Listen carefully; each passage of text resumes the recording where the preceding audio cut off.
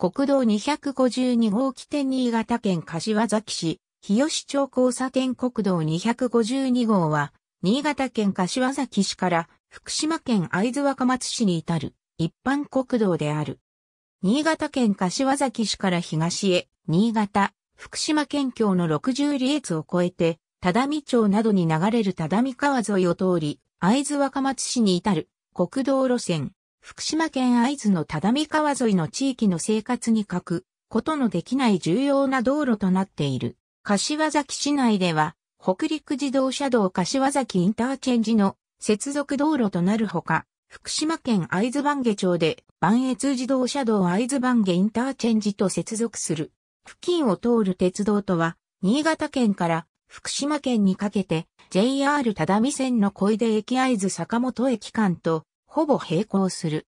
60里越峠街道記念碑新潟県魚沼市、太白川と福島県南会津郡只見町大技、田子層の間にある峠、60里越の周辺は、急峻な山岳地形であることに加えて積雪が多く、冬季は、雪崩や落石の危険性が高いため、魚沼市末沢から県境の60里越トンネルを挟んで、只見町大あざ石節あざ上宮淵までの間は、おおむね11月中旬から4月下旬にかけてのおよそ半年間は全面通行止めとなる。この冬季閉鎖の間、両市町の間は、並行する東日本旅客鉄道の只見線が唯一の交通連絡手段となる。すべて福島県内、大沼郡金山町大沼郡三島町川沼郡、柳津町川沼郡会津番下町国道291号との分岐新潟県柏崎市安田垣の木、スノーシェットトンネル、編集新潟県福島県金山町滝沢に位置する。旧来の滝水道 M1961 年開通の改良区間である滝バイパス整備に伴い、2011年度より建設された2012年5月31日に起工式が行われ、2013年7月25日に貫通、2014年12月20日に開通した。総工費は25億円。金山町川口あざ船戸の上から地下岩下に至る。川口バイパス建設に伴い国道。改良事業として1981年度より建設され、1987年1月23日に起工式が行われた。1989年4月14日に貫通し、1990年10月29日に開通した。総工費は9億1500万円三島町早戸に位置する。早戸バイパス建設に伴い2008年度より国道第一種改良事業として建設された。2009年7月17日に起工式が行われ、2010年3月19日に貫通、2011年10月31日に開通した。総工費は10億5600万円三島町派や、ドアザユの上から時代層に至る。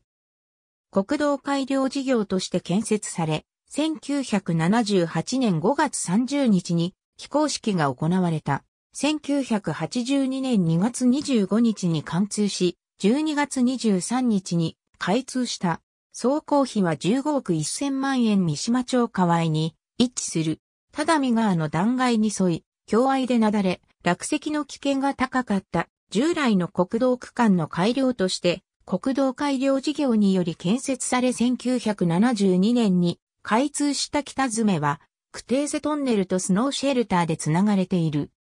南詰は橋梁を挟み、道の駅尾瀬街道三島宿が位置する。高校部向かって左側に遊歩道があり、JR 只見線第一只見川橋梁を望むビュースポットに至る。三島町河合からヒバルに至る。河合トンネルと同じく国道改良事業として建設され、1972年に開通した両側の校門からは、スノーシェルターが設置されており、校門、変額を目にすることはできない。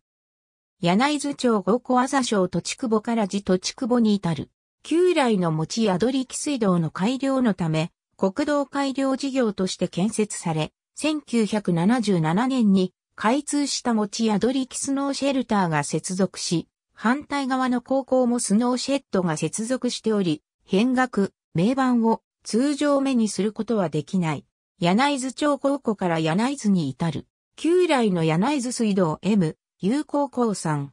9メートル1950年開通の改良である松倉閣複整備に伴い、国道改築事業として1998年度より建設された。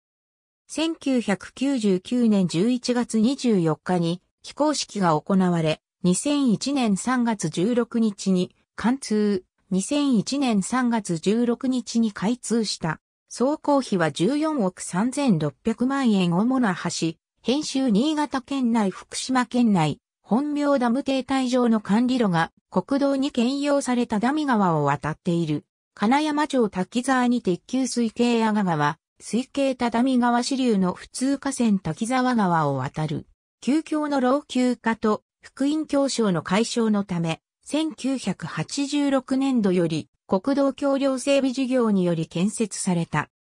総工費は3億2200万円。金山町、水沼座赤沢に位置し、JR 只見線を渡る。橋上は上下対向に車線で共用されており、歩道は設置されていない。只見線の車両限界の都合により桁した高さを確保する必要があったため、バイプレストレッシング工法を用いけた高さが抑制されている。総工費は2億8800万円。JR 只見線早戸駅北側で只見川支流の逆瀬川と東路線に並行する JR 只見線を緩やかに S 字カーブを描きながら渡る。東京領は隣接して仮設されている JR 只見線坂瀬川橋梁を渡る列車の撮影ポイントとなっている。柳津町五小あ座席成功にて一級水系阿賀野川、水系只見川支流の巡洋河川滑沢川を渡る。橋上は上下対向に車線で共用され、上り線側に福音2.5メートルの歩道が設置されている。松倉各福の整備に伴い国道、改築事業として建設された。桁はメンテナンスフリー化のため対抗性鋼材が使用されている。総工費は2億6200万円。道の駅、編集新潟県魚沼市はダフキン柏崎市、鳥越高店までと10日、長盆地、魚沼盆地、会津盆地を除くと概ね山間地を縫うように各市町村を結んでいる。したがって、ほとんど河川に沿っており、新潟県では、鯖石川、信濃川、人線、田川川、魚野川、波間川、福島県では、只見川に沿っている。このため、新潟県内の各市と県境は、分水嶺をトンネルによって越えている。60里越の福島県側は、眼下に只見川のダム湖である。田子倉庫を眺める山の斜面の急峻なワインディングロードである。鉄道では、新潟県柏崎市、日吉町高点鳥越高点間は、JR 東日本新越本線、新潟県十日町市、下城栄町高点、北原高点間は、JR 東日本飯山線、新潟県魚沼市、堀之内庁舎前高点四日町高点間は、JR 東日本上越線、魚沼市四日町高店福島県会津若松市中央市までは JR 東日本只見線と並行している。他の区間に並行鉄道路線はない。ありがとうございます。